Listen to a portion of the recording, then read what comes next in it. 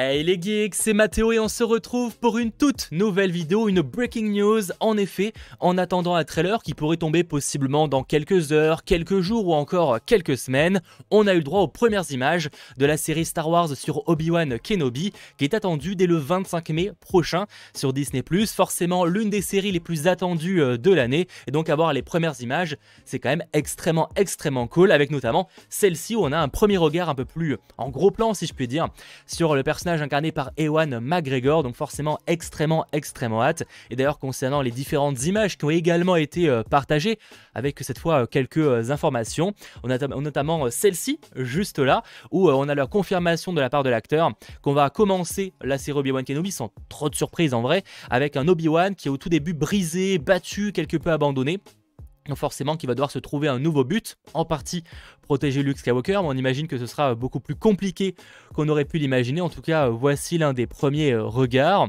On a aussi euh, celui-là qui présente un tout nouveau euh, personnage, donc l'inquisitrice Reva, donc les inquisiteurs de manière générale, c'est ceux qui traquent les Jedi après l'ordre 66.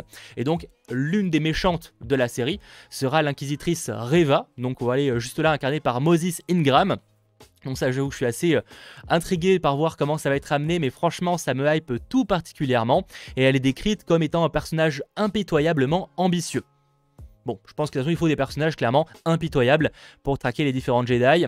On a ensuite euh, ce plan-là, juste ici, où là pour le coup c'est euh, Obi-Wan euh, qui visiblement se fait une nouvelle maison, alors dans une sorte de grotte sur Tatooine, voilà, c'est clairement pas l'endroit le plus hospitalier que l'on puisse imaginer, hein, surtout lui qui vient de Coruscant, mais en tout cas, enfin qui en tout cas a vécu sur Coruscant, mais là en tout cas voilà, une nouvelle image, j'aime bien pour l'instant les, plans, je les trouve plutôt jolis, faudra voir une fois en action avec un trailer et une fois que la série sortira dès le 25 mai, mais en tout cas les premières images pour l'instant, je trouve qu'elle donne euh, plutôt envie. En tout cas, il s'est installé là pour euh, attendre et essayer de surveiller surtout euh, le jeune Luke Skywalker. On a de retour l'inquisitrice donc Reva avec cette nouvelle image également. On la voit, j'imagine, d'être sur Tatooine, je suppose. Je sais pas du tout si c'est réellement sur Tatooine. Mais en tout cas, on a la confirmation qu'on aura un sorte de trio de méchants, c'est-à-dire l'inquisitrice Reva, dont on voit le personnage juste là. On aura aussi le grand, inquisiteur, excusez-moi, qui sera un peu le, boss des inquisiteurs, ainsi que Dark Vador, incarné euh, de nouveau par Hayden Christensen, hein, qu'il avait déjà incarné dans la euh, prélogie. En tout cas, voilà un des nouveaux regards qui a été euh, partagé.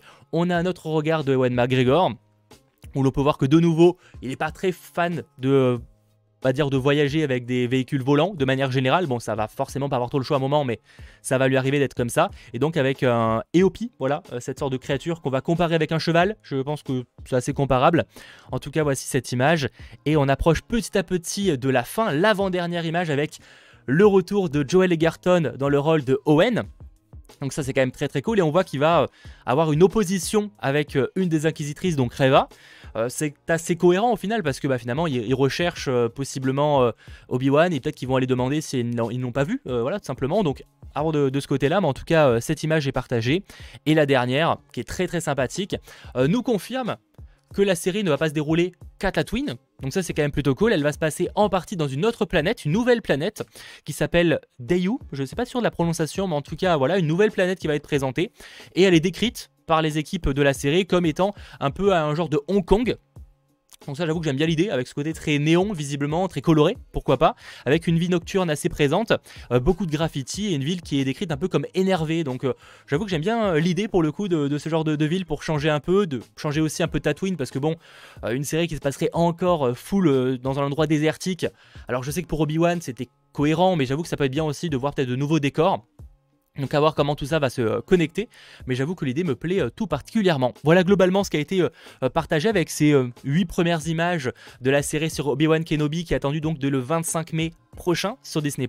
On en reparlera évidemment très vite dès l'arrivée euh, d'un trailer qu'on espère au plus vite. Alors je sais que beaucoup me diront sûrement ce soir à l'occasion d'un Disney Investor Day. Alors attention, il n'y a pas de Disney Investor Day ce soir, c'est quand même très important de le préciser. C'est un meeting annuel de Disney qui a lieu en mars euh, chaque année. Et en 4 ans, ils n'ont jamais rien dévoilé, ni d'images, etc. à cette occasion-là. Alors on n'est pas à l'abri de surprises, évidemment, je l'espère. D'ailleurs, je serai peut-être en live, histoire qu'on discute en même temps, et s'il y a un truc, tant mieux, s'il n'y a rien, tant pis, on aura papoté notamment de Star Wars. Mais méfiez-vous quand même de ce côté-là, pour l'instant, il n'y a, a, rien qui va dire qu'on aura quelque chose de sérieux ce soir à l'occasion de ce meeting annuel de Disney. J'espère en tout cas que cette petite vidéo vous aura plu, si c'est le cas, n'hésitez pas à lâcher le petit pouce vers le haut, à vous abonner, et on se retrouve très vite, je l'espère encore plus que ça, pour justement parler d'actualité. C'était votre geek, Mathéo, ciao tout le monde